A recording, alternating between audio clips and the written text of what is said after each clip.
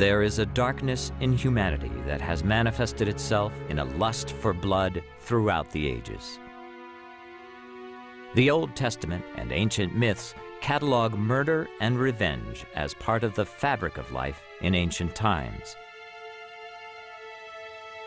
Cain slew Abel. Romulus slew Remus. Unleashing the beast within is a possibility for all of us. The decision to kill from passion or premeditation has often defined our world, past, present, and future.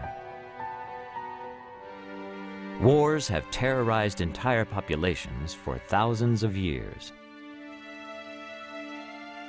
The American West was home to ruthless killers who were idolized in fiction and folklore. Evil evolved to a hideous new form with the genocidal dictators of the 20th century, such as Hitler, Stalin, and Mao Zedong, who ordered the death of tens of millions. But in the middle of the 20th century, a new and chilling phenomenon emerged in post-war Western society. The serial killer. As if fashioned from our nightmares, they terrify and fascinate us. Lurking behind masks of bland normality, they often evade capture for years, decades, or eternity. They are America's serial killers. We killed her. We dumped her body off, and that was it. Nothing to it. Every year in this country, we have about 20 serial killers, 10 of whom are apprehended, 10 of whom are on the loose. And they are, in total, responsible for some 200 deaths. So 200 victims of serial killers on a yearly basis. And what makes this particularly important for us is that the average serial killer is responsible for 10 deaths. That's a huge body count. America's Serial Killers Portraits in Evil will strip the covers from a world of profiling and forensic science as we expose America's most brutal serial killers.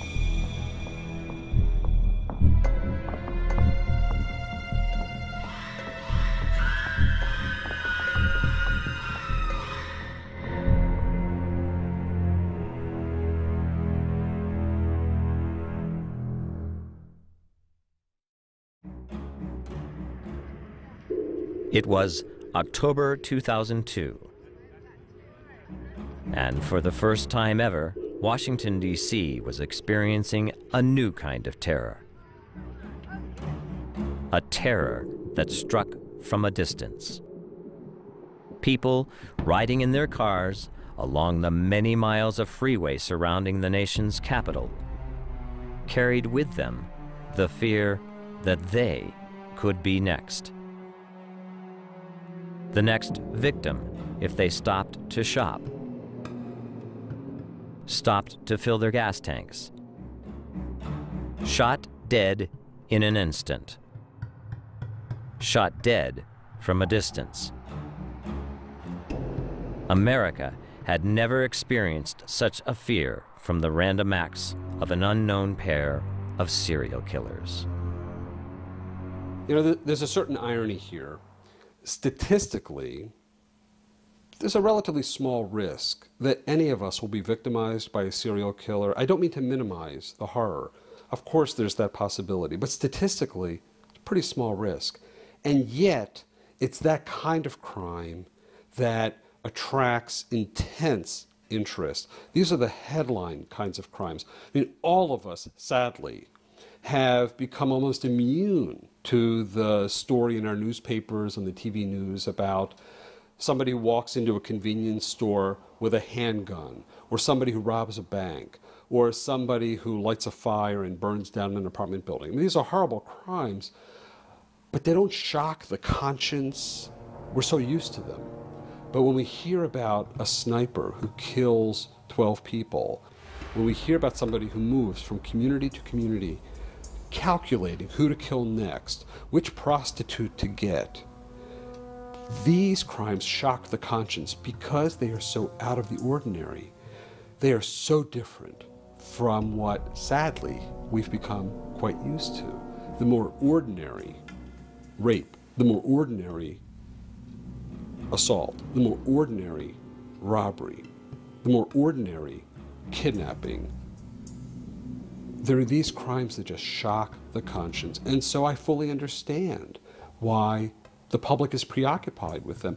I think they are so outside the box that we have this understandable need to try to grasp why would somebody do that?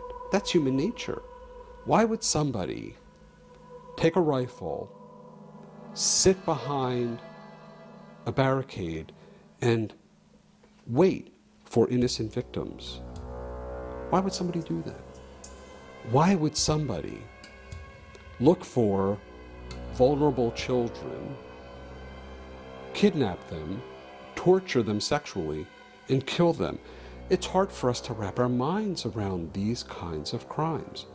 And it makes complete sense to me that the average human being would be both fascinated by this, horrified by this, mystified by this, and preoccupied by this. By the mid 70s, the phenomenon of serial killing was no longer a city or regional issue. The whole country was aware of these fiends who loved to kill. These brutal monsters who lived to see others die. Some, like the Zodiac killer, taunted the police, sent messages to newspapers in order to terrorize the cities where they lived. Some, such as Ted Bundy, were sexual sadists predators who combined sex and violence for pleasure. Others, like the son of Sam, killed for the joy of killing. But why in the United States? What gave America, the world's greatest democracy, the world's wealthiest country, the cruel irony of being the world's leader in serial killing. The serial killer phenomenon, I think, is really become synonymous with this country. A lot of people think there are more here because we have basically lost our sense of community. We don't know our neighbors. We don't have good feeling for our neighborhood. Um, we've lost a sense of in a, in a neighborhood where you're, you know, in the early days and you were farming, you would wave at people who went by. I don't see people waving at me in my neighborhood. Uh, and I think the other issue is the fact that we move so often. People change jobs to different locations for different jobs. And as we move, we lose our roots. And because we lose those roots, we don't uh, develop the sense of community. Uh, I, I think the evolution of large urban complex societies can sometimes provide the incubator for murder in the sense that we often know less about each other. There's more anonymity. And people who murder can sometimes go undetected because there isn't that kind of small town quality where everybody knows everyone else. There's more camouflage, there's more anonymity. The conventional answer was to blame it on the country's growth. America was becoming a very mobile, high-tech society, rapidly moving beyond its agrarian roots. Roots that had once maintained close social and family bonds. A society where serial killing was almost impossible because there was no easy prey on the fringes of the community. But that changed with urbanization. By the 70s, most Americans lived in large, overpopulated cities. But the answers to why America in the 70s and beyond produced so many serial killers wasn't simply that we now lived in large cities. Many criminologists saw that serial killers had entered the American consciousness through newscasts and newspapers. But the electronic media had then gone farther. The media had taken the sex and violence and turned it into drama. Almost overnight, the idea of serial killing had become a part of our fantasies. You also can't deny the role of the media. Now, I'm not a big, you know, I'm not a big believer in, you know, hey, you watch a serial killer crime on TV, you go commit one. I don't necessarily believe there's a causal relationship there. Maybe in some cases, maybe. But more than that, I think what it does is it distributes the notion. You know, maybe you're a mixed up person with a lot of hatred and a lot of negative feelings, and you've been casting about and expressing it a lot of different ways. But then you watch a crime drama where somebody commits some sort of act and you yourself derive some satisfaction out of vicariously experiencing the act they committed. Maybe that makes you more likely to go and try and commit the act. Um, perhaps by reading about serial murder, by seeing it on TV, you develop um, a fantasy that, you know, let's face it, I think the, the centerpiece of a lot of this crime is fantasy fulfillment. Okay? You think about it, you think about it, you think about it, you think about it, you live it, you live it, you live it, and suddenly the thing that was purely imagination, you desire to see that fleshed out in, in reality. Once serial killing became known, once it saturated the American family and home, the fantasy became a reality for some people. Sometimes this steady drip, drip, drip exposure to violence in movies and television may increase the likelihood because there's this sense of familiar. And when things are familiar, sometimes we imitate. Sometimes we're influenced by that. But if one has seen this kind of footage for years and years and years, there may not be anybody out there saying, go kill the person you don't like. But in that person's psyche, in their bones, there's this familiarity. I think that's it. I think there's a familiarity with violence in this culture that implicitly may send a signal to somebody with violent instincts. You have permission to kill. So, anonymity within the type of society America had become was no longer an adequate explanation. Serial killing was too well known. It had achieved its own notoriety, its own celebrity. I mean, there was recently a case in California where a young kid killed his classmate and probably would have gone on to kill others. And his motive was he wanted to become a serial killer. I think he was only 10 or 11 years old. You know, so this is getting to our youth as well as, as well as older people. And it's not a very good message to get out there. They're glorifying uh, a very serious and, in many cases, it's a very, very uh, gory, if you will, crime. Americans had come to accept serial killing as a reality, and in a morbid way, looked forward to the next sensational case. And they got it with the Buddy Killers. A new psychological twist to these demented murderers. It is easier to work out the MO and signature of a lone serial killer, how he works. He is alone, a despicable murderer who wants to be in control of his victims. However, a pair working together introduces a much more complex psychology, derived from the relationship to each other as well as to their victims. Even so, it is a complexity that mirrors the same need for control and dominance over their victims. With those type of situations, you have somebody usually that's dominant and somebody that's a little bit more submissive in the pairing, and the one that's dominant decides what they're going to do and who they're going to do and all that, and the submissive one basically does whatever the dominant one tells him to do.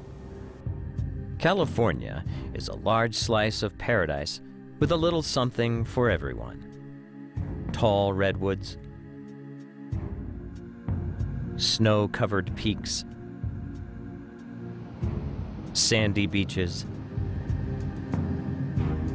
and a highway system that connects all of it. The dark side of this paradise is that its freeway and street system provides the perfect mobility for sadistic buddy killers to find victims. Two of the most evil and prolific buddy killers to use this road system to their advantage were Angelo Buono and Kenneth Bianchi, aka the Hillside Stranglers. They were cousins and fit the first of criminologist Dr. Jack Levin's reasons for how killing teams come together. When people think of serial killers, they think of loners.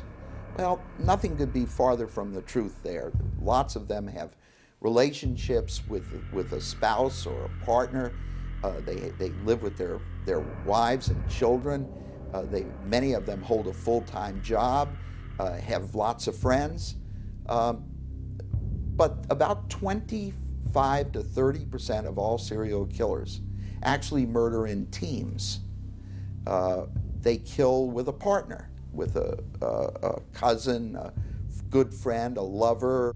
They kill together because there's some kind of chemistry uh, that they don't have when, there's, when they're alone.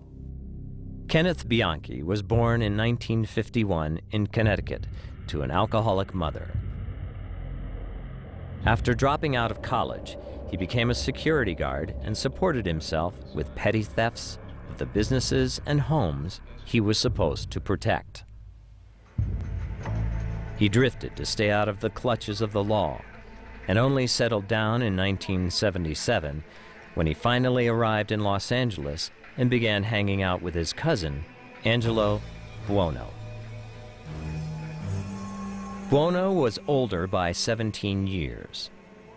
In trouble with the law from an early age, he was now a pimp. Wore fancy clothes, jewelry, and impressed Bianchi with tales of getting as many women as he wanted and, quote, putting them in their place, close quote. Bianchi joined his cousin as a pimp. Very quickly, the pair turned to murder. The older Buono was the mastermind. There's a number of cases of serial murder that involve more than one individual who participated. Um, and the Hillside Stranglers are a classic example of two men whose aberrations uh, dovetailed nicely and allowed them to pursue their common interest uh, in killing and well in raping and killing these women. Um, one was a dominant character. I think that's again pretty typical of these pairings of serial killers. Um, uh, you know, Buono was a dominant personality. Um, he was the one who really gave the orders. He was the one who really um, you know, he was the one who said, this is the night or this isn't the night, this is the time, this isn't the time. Posing as police officers from 1977 to 1978, the pair targeted Los Angeles, easily hunting down victims. Indeed, the Hillside Stranglers' MO had become a staple of television, replayed in shows such as Numbers, and the CSI franchise.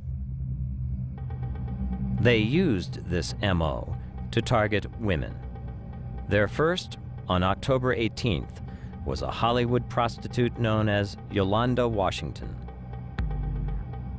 They killed roughly once a week after that, dumping their victims' lifeless bodies on hillsides around Los Angeles, hence the name, the Hillside Stranglers. Their last victim, 20-year-old Cindy Hudspeth, was found February 16, 1978, in the trunk of her orange Datsun, driven off a cliff. Eerily, one night their trail of death took a macabre twist. Dressed in their trademark MO as police officers, they approached a young woman and asked for her ID. Her driver's license read Catherine Lorre, and next to it was a picture of her as a child sitting on the knee of actor Peter Lorre, her father.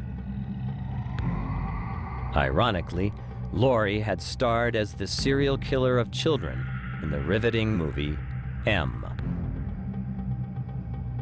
The pair, not wanting to draw attention to themselves, left the daughter alone and moved on to another target. In addition to the Hillside Strangler's signature of death by strangulation using a ligature, the two men tortured their victims, making them the most depraved of all the buddy serial killers. They committed some really heinous acts like uh, in injecting people with uh, uh, boric acid, uh, doing transfusions on people, and then trying to stuff all kinds of cleaning chemicals besides boric acid into their system, uh, putting a bag over their head and uh, putting a vacuum cleaner on the bag, basically suffocating the victim. I mean, these are pretty horrific ways for people to die. So they came up with some doozies. In four months, they killed at least 10 women and perhaps scores more. But no one in law enforcement could figure out who they were or where they would strike next. The killers were too mobile, and Buono, the mastermind, was too smart. Then it all changed. Angelo Buono gave up killing, and bizarrely, this would lead to his capture and the undoing of their perverted buddy system. Without his cousin's leadership, Bianchi was lost. Bianchi, on the other hand, left LA and goes up to state of Washington and works as a security guard, winds up killing two people and leaves a very, you know, it, the whole killing was very amateurish and he was discovered very rapidly. He had access to the home where the victims had obviously been killed even though they'd been stuffed in a car and dropped in a ravine later. You know, they got information on him, they had witnesses. So he was easily caught. Sentenced to death in the state of Washington, Bianchi turned on his cousin in order to save his own life. Buono was tried in California and found guilty. The presiding judge, Ronald M. George, declared at the end of the trial that he would have imposed the death penalty without a second thought for Buono's heinous acts if the jury had allowed it. Buono got life in prison. And Calipatria State Prison is where he died of a heart attack in 2002. Bianchi is currently serving a life sentence at the Washington State Penitentiary in Walla Walla. Criminologist Jack Levin has met with Kenneth Bianchi. Their interaction was a startling glimpse into the mind of a serial killer. I interviewed Ken Bianchi, one of the Hillside Stranglers, a man who had killed 12 women and girls uh, in Los Angeles and also Bellingham, Washington. Um, and uh, when we met, he shook my hand in an appropriate way, you'd think, but he gripped it so tightly that I really thought I was going to scream. And I was thinking about that, that very hard handshake. And I was thinking, look, there are lots of people in this world who have a very hard handshake and they're very nice people. But knowing that Ken Bianchi had killed 12 women, knowing how much he craved power and control, suggested to me that that grip that he had on my hand was meant to send me a message. Look, pal, you may have your PhD and all that, but as long as you're here with me behind bars, I'm still in charge of things. And don't you forget it. The cousins were out of action, but California wasn't out of danger. Indeed, the state was rapidly becoming murder central in the perverted world of buddy serial killers. In Northern California, a pair of survivalists, Leonard Lake and Charles Ng, had built a chamber of horrors for raping, torturing, and killing their victims. All of it caught on videotape. Lake, abandoned by his mother when a child, turned his anger into a pathological hatred of women. Ng, on the other hand, was an ex-Marine who desperately sought a father figure. He easily fell in with Lake and his absurd plan to build a compound of underground bunkers to house women as sex slaves for the aftermath of World War III.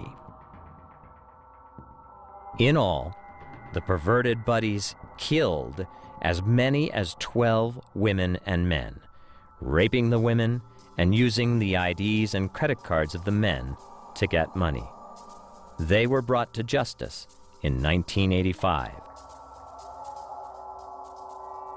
While Northern California housed the torture bunker of one of the most demented of the serial killer pairs, it was once again LA that would draw attention to a new twist to this already twisted serial killing buddy system. This time, a woman and her lover traveled LA's streets and highways to kill. Ironically, there are more female serial killers than most people think. Uh, they frequently team up with a male serial killer. They're not always on their own. Carol Bundy, a nurse and divorced mother of two, found her killing mate in Doug Clark, a boiler engineer for the Jergens Lotion Company. Together, they teamed up as the Sunset Strip Killers. As crazed a duo of serial killers that ever stalked the streets of America's cities. Starting in the spring of 1980, Bundy and Clark went on a murderous rampage through the City of Angels, a rampage that would leave six dead. The first victims were discovered in June. Two women, both killed with the same signature.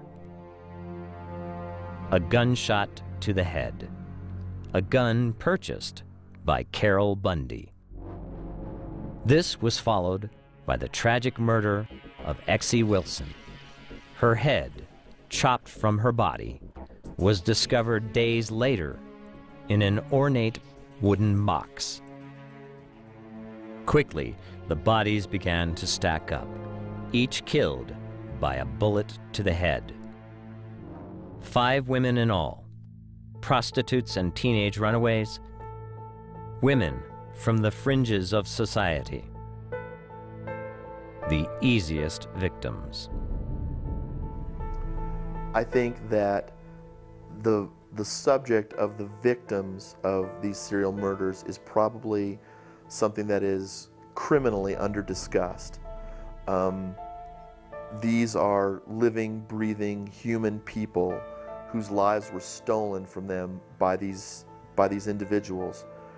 I think the fact that um, a lot of um, the victims of serial murderers were people from the fringes of society had a lot to do with not only their availability to the killer, but also to the lack of quick and decisive public response to their crimes.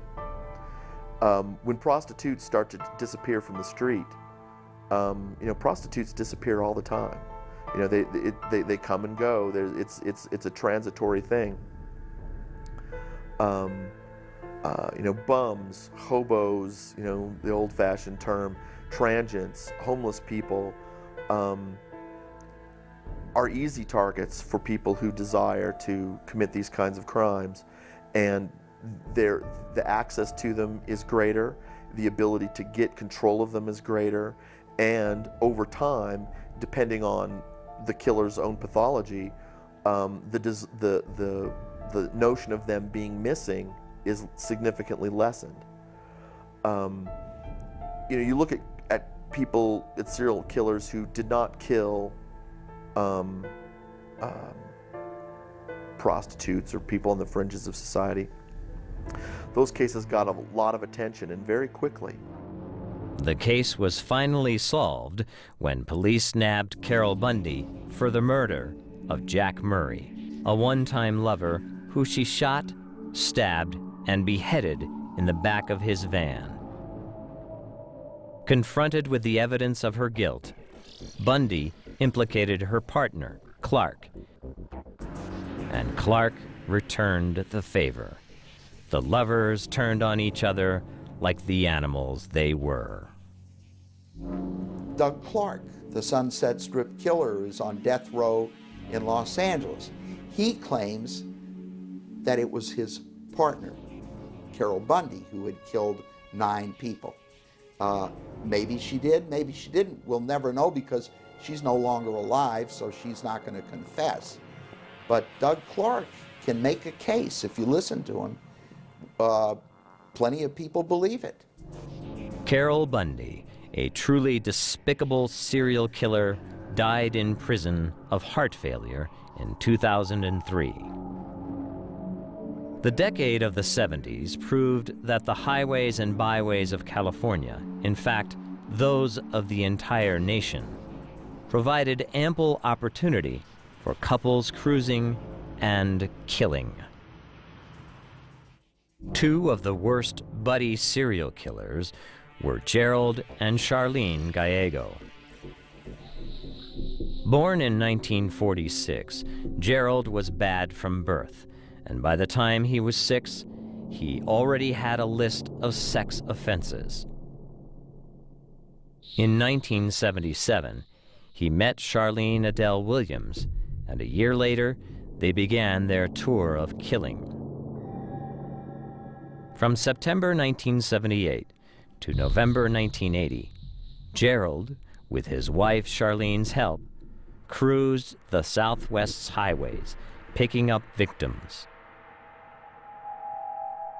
Before police brought them to justice, Gerald raped and killed nine women and shot one man while Charlene drove their van.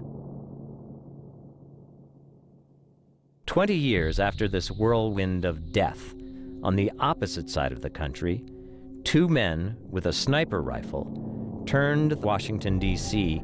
into their own gruesome human shooting gallery. Dubbed the Beltway Snipers by the press, John Allen Muhammad and Lee Boyd Malvo would hold the nation's capital hostage for 23 days. They formed the classic older man and younger man serial killing team. Born John Allen Williams, Muhammad had joined the Black Nation of Islam and in October 2001, at the age of 40, changed his name to John Allen Muhammad. Muhammad found Malvo at a homeless shelter and took the young teen to his house. He had lost his own children in a custody battle and now had a surrogate son. Someone he could father. Someone he could mentor. Only this mentoring was about depraved indifference to human life. In fact, it was their great distance from their victims that would add a new twist to the usual serial murder team. The Beltway killings were completely different, whether you want to believe they're politically motivated, whether they're religiously motivated, um, and they had planned to just start targeting people and just start killing them. Um, and it wasn't for the personal contact or the personal control over somebody like you see with so many of these people. It was reaching out from a distance, reaching out literally and touching someone, where they were shooting them from a distance and killing them. They don't even see their work close up. So that's a little bit different breed of animal. Muhammad and Malvo's trek of death began in Tacoma, Washington, where, according to the Seattle Times newspaper, they practiced their sniper skills on the firing range of a gun store known as Bullseye Shooter Supply. Their first kill came in Montgomery, Alabama, when Claudine Parker was shot in a liquor store holdup. Their serial killing began in earnest on October 2nd, when, in the span of 20 hours, Muhammad and Malvo shot six people in Montgomery County, Maryland. All were killed with what would become the Beltway sniper's trademark MO and signature, lying in wait and killing their victims at a distance with a single round from a Bushmaster XM-15, the perfect sniper rifle. What I think is interesting again with the Beltway snipers, and it was in the area around Washington, um, again you have a pair of individuals, one person more dominant than the other, um, but uh, you have um, a desire for a kind of anonymous crime. The uh, victims and the, the killers were not, not only were they not connected in any you know, specific way that they knew each other, but they were disconnected by a great deal of, of physical space. Uh, by, by killing them from a distance, um, you know, you not only removed a lot of the danger of apprehension, but you also removed any close, up close and personal connection to the victim. Muhammad and Malvo were cowards who staked out places where people shopped gas stations, convenience stores, on streets where they walked. The only purpose was to terrorize, create a panic. Their tactic worked. Fear shot through the communities of Montgomery County and throughout the nation's capital. Schools went into lockdown. Muhammad and Malvo widened their range, and the real plan behind their killings began to unfold. On October 7th, after Iran Brown, a 13 year old schoolboy, was wounded as he arrived at school, police found a tarot card with the note Dear policeman, I am God. Over the next 15 days, with another five people shot and killed, their plan became clear in long, rambling messages to the police. A ransom demand of $10 million to free the nation's capital from the terror of the Beltway snipers. The Beltway snipers uh, began uh, with a profit motive. Uh, they uh, had decided to extort $10 million uh, from the authorities. Uh, first, they killed five people at random in the D.C. area in October 2002. And then they intended to stop and negotiate with Chief Moose uh, for the money. Uh, so Malvo, the younger of the two killers, uh, called the tip hotline. Unfortunately, the operator had received 70,000 tips unmanageable, unable to place in any priority level because of the vast number. And so hung up four times on Malvo, who got very frustrated by his inability to get through and instead killed more people. Rather than attempting to make money, they instead liked becoming celebrities. Uh, you know, they enjoyed uh, uh, playing a cat and mouse game with the police and taunting them in some of their messages. I am God, meaning you'll never catch me. I'm superior to you. But they weren't gods, and their tirade of terror would not last much longer. The police now knew the make and model of the car, a blue Chevy Caprice.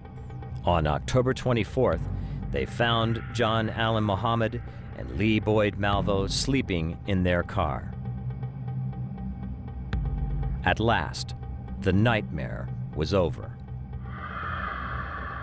At trial, prosecutors introduced exhibits showing that Muhammad and Malvo planned to emulate the Islamic jihadists and terrorists of 9 11.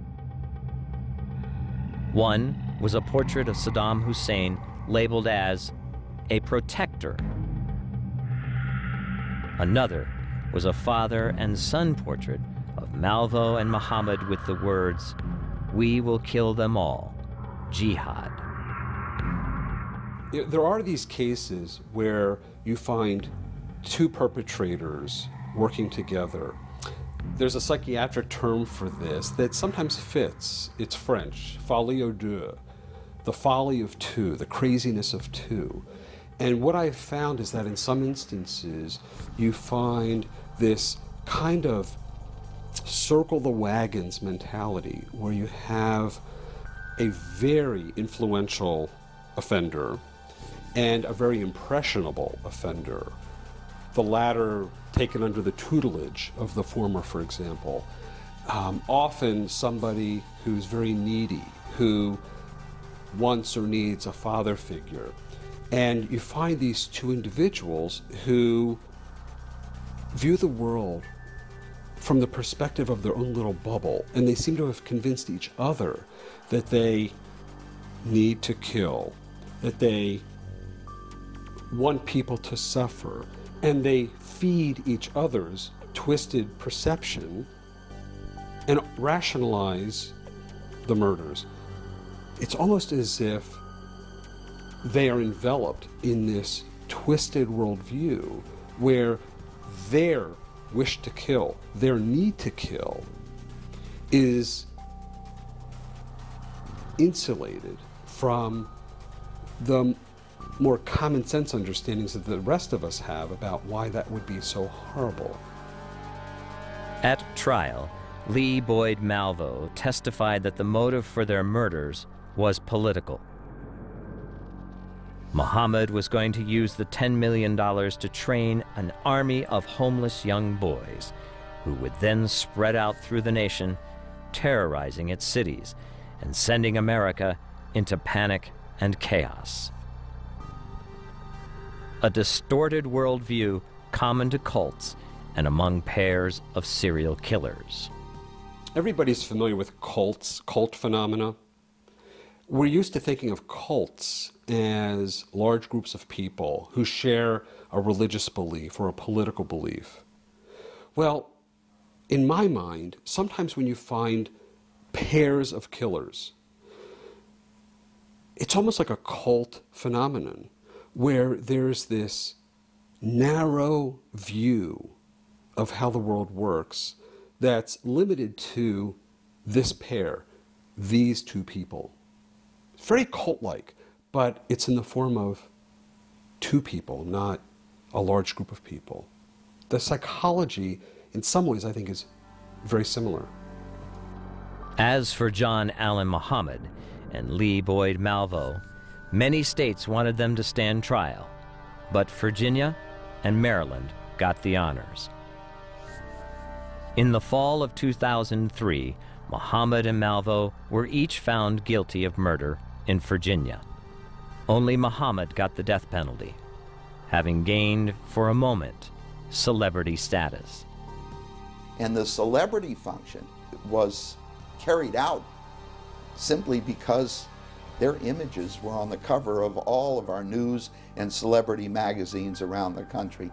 They became big shots. They were the, the national anti heroes that they had hoped to become. In the 21st century, there are more serial killers operating than ever. But with the saturation of crime dramas depicting these murderers, it seems impossible to draw the large media attention they once had. Indeed, Americans inured to the horrific acts of Jeffrey Dahmer and the impersonal sniper attacks of Muhammad and Malvo have become desensitized to what had once been sensational crimes.